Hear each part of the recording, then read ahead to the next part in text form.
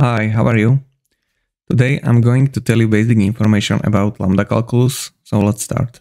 Well, lambda calculus it's little bit like engine in a car.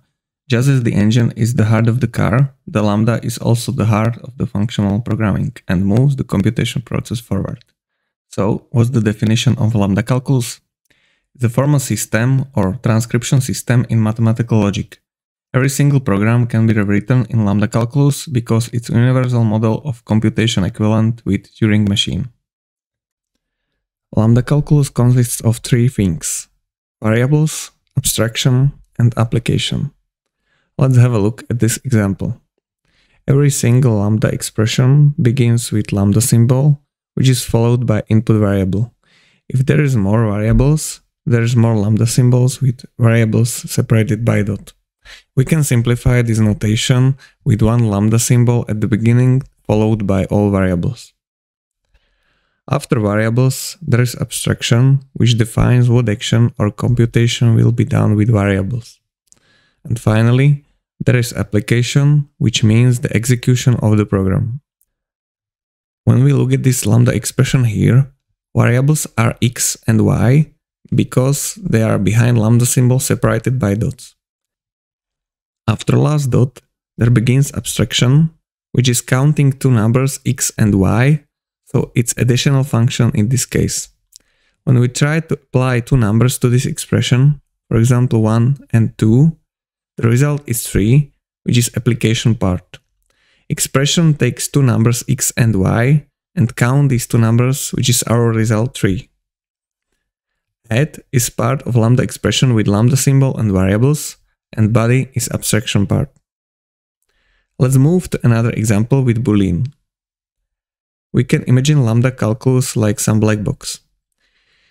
What is on the input of this black box are variables, what is inside this black box is abstraction part, and what is output is just application part. I defined true as lambda expression which has two input variables, x and y, and returns x. Then I define false as lambda expression, which has two input variables x and y, and return y because it's opposite of true. And then we have not expression, which changes true to false and false to true. Not is a little bit tricky, so let's explain on the example. We want to change true to false because it's not function.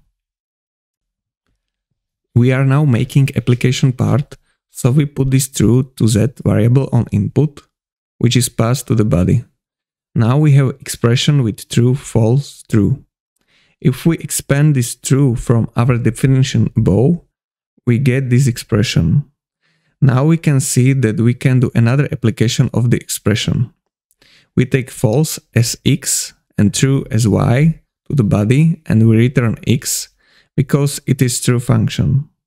In this case, x is false, so we return false, which is opposite of true on the beginning. It is the same with false. We are now making application part, so we put this false to z variable on input, which is passed to the body. Now we have expression with false, false, true.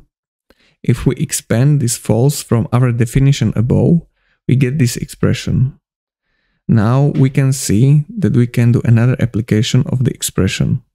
We take false as x and true as y to the body and we return y because it is false function. In this case, y is true, so we return true, which is opposite of false on the beginning.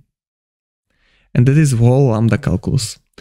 Of course, we can define true, false, not with other variables and abstraction, but this example was the easiest for explanation. That's it. I hope you enjoyed the video. Please don't forget to give like and subscribe and thanks for watching.